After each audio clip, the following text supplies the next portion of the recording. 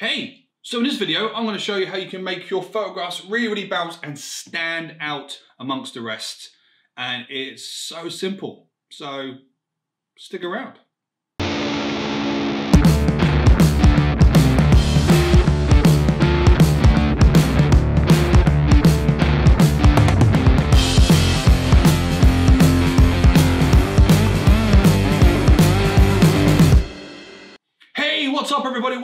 To another video here at Benham Media. My name is Nathan and it's an absolute pleasure to see all of you here today. Now before we get started, I use the hashtag over on Instagram, BMPics2020, and if you'd like the opportunity to see your photographs featured on this channel, then consider using the hashtag and I will shout you guys out as and when I review the hashtag. So yeah, let's get on to this video.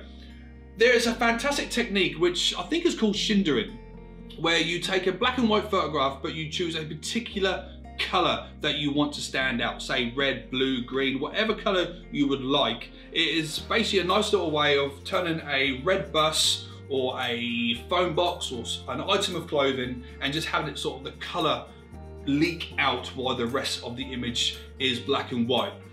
Now this isn't something new. There is a many, many ways within Photoshop that you can in fact do this and it's probably better to do it via Photoshop but if Photoshop itself makes you feel just a little bit sort of like oh my god because there are so many tools and techniques to do this I'm going to show you a simpler way that you can just use the controls within Lightroom to do the same effect and you can end up with some photographs a little bit like this.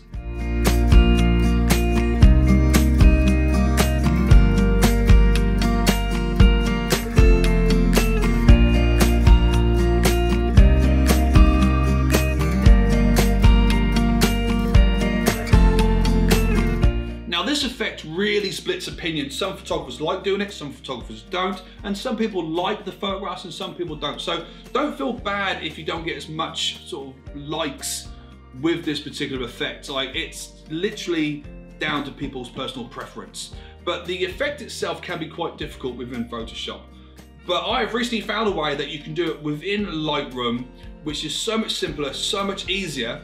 Again, the effect isn't as good has taken the time and effort on Photoshop, but the outcome still looks really, really good. So we're gonna quickly go over a photograph which I've taken of Phoenix wearing a nice red jacket and I just want her jacket to stand out with everything else around being black and white. So let's jump into the laptop and I will show you how to make a selective color photo.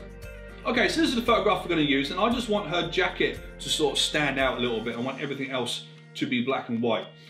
Now, before we're going to do anything else with any of these other sliders, we're just going to go into the HSL slider. We're going to go into saturation, and we're going to bring it all down. So every single one of them down to zero. As you can already see that the photograph turns pretty much black and white straight away just like that. So when they're all down, you have a black and white photograph. Yeah, it's a little bit blown out. but That's because we've not done anything with the basic sliders yet. And we just want her coat to stand out. So to find out which sliders actually affect the coat, there's a nice simple way. You go into this little target up here, you get this little cursor, and click and drag up on that particular part of the image. And you'll see over there on your sliders that the red and oranges start to come out, okay? So as we know, the coat is red, so we don't really want the orange. So we're gonna bring the orange back all the way down. And there we go. So we've got the coat standing out, but the background itself is still black and white. And as you can see, the head and the hands have a little bit of color in. And we're gonna show you how you can sort of make them black and white in a second. But if we quickly go over to luminance as well, and we take the red slider and we come down a little bit, we make it pop just that little bit more as well. So then we're gonna go down like that, bring saturation up a little bit more. So there we go. We're not gonna go too much with it, we're just gonna play with it slightly so we don't want that up too much. Now as you can see around the edges just here where the light hits the coat, you've got that little bit of sort of peeking. Don't worry about that for now. I'll show you how to fix that in a second. But at the moment, that is quite nice. So now I'm gonna show you how we can get rid of the color from the face and the hair. So we're gonna click off that and we're gonna go into the brush and then what we want to do is that we're going to slowly and start painting out the color in her face. So we're going to zoom in by Control Plus. I'm going to come into her face just like this. And quite simply, hit the brush tool, and then you want to come to the drop down menu and you want saturation. Now, if you come all the way down, you will see that saturation is minus 100, and you don't want any feather on your brush, and the size of your brush doesn't matter. It depends on what you're brushing out, and you can change it as and when you want. And then if we just simply start painting a mask around the hair and the face, you will see, turn the auto mask off, you will see that it starts to go black and white. So there we go. So around the hair, across the face, just like that. There we are. I'm to come into the hands now, bring the brush down by hitting the bracket keys. Now if you do go over slightly, say I've just done that, I've hit a bit of the coat, and obviously I want the coat to still be red. Don't worry about it too much, because I will show you how you can fix that in a second. Now to clean up these mistakes, if you come to the erase tool, or the erase brush, now you can just paint over the bit and you're erasing and deleting the part of the mask that went over that little bit. We're only singling out the hands, just like that. Okay, I'm gonna go into fit, we're just gonna do the top part of the head as well. And if you have a little look around here as well, you can see that so there's some of the leaves, because this was an autumn shoot, you know, some of the leaves are red, so you just wanna paint around the leaves and anything else that sort of had some red in it, you just wanna get rid of that. Like that, some up there, some at the back, around the sides here as well, there we go. Perfect. So now you have an entire black and white photograph, but only the coat is showing off red. But like I said before, you do have these sort of like little sort of where it peaks, where the lights actually hit the coat, and you don't want that. You want it to be a little bit more perfect. So if you come up to the top, you want a new brush, go down to the drop down menu and hit the temp. Okay, and you want it around about 24. And again, with the brush, you come down here and you hit the auto mask.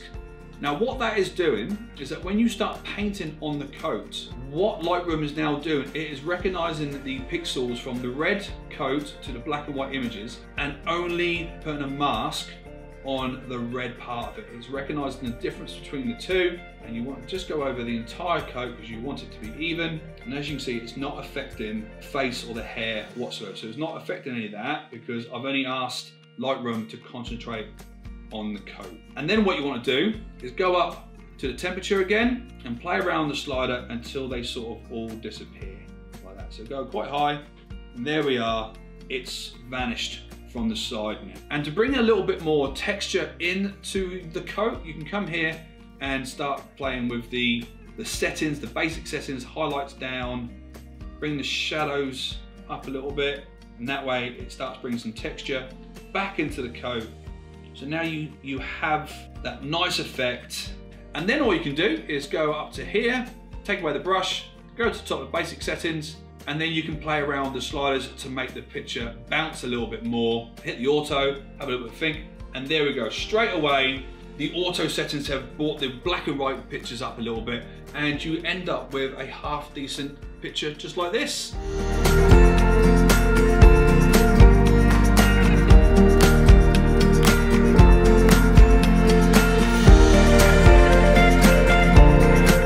as simple as that. Yes, like I said before, you can get a better result if you use a Photoshop technique, but if you're not that good at Photoshop and it still sort of overwhelms you a little bit, this is a great way of coming up with some really, really cool ideas of just having one particular color stand out inside your photographs. And yeah, that is, that is pretty much it. I don't think there's much more to tell you in this video. I hope you've enjoyed it. If you have in fact enjoyed this video, please hit the like button just down there. It really does help out the channel. And please leave a comment if you've got any questions, quotes or queries. But until next time guys, thank you so much for watching this video.